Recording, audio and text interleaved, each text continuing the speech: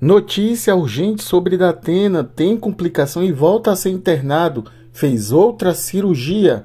Datena precisou passar por outro procedimento após sofrer um sangramento e ir para a UTI. O apresentador José Luiz Datena precisou voltar ao hospital apenas um dia após receber alta.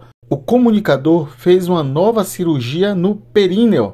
Segundo o jornalista Flávio Rico, o famoso apresentou outro sangramento que teve uma grande complicação e preocupação, pois não é comum ter sangramento após esse primeiro procedimento que ele fez.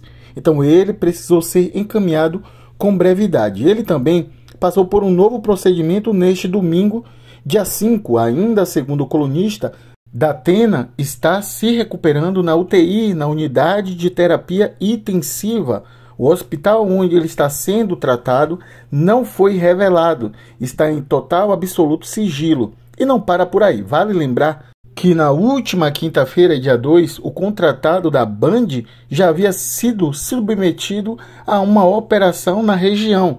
Ele recebeu alta neste sábado, foi para casa, mas voltou a passar mal. O comunicador da Atena está afastado do programa Brasil Urgente desde o último dia 29 a partir de então, seu filho mais velho, Joel Miranda, tem comandado a atração. Ele já tinha planejado essa cirurgia, esse procedimento, em caráter emergencial após alguns exames que ele acabou fazendo, mas quando foi agora teve que voltar novamente. Mas ele segue todos os protocolos médicos para se manter em repouso e voltar para a TV.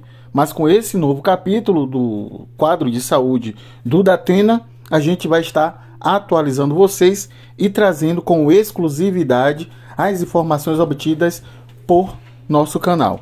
Um forte abraço e até mais.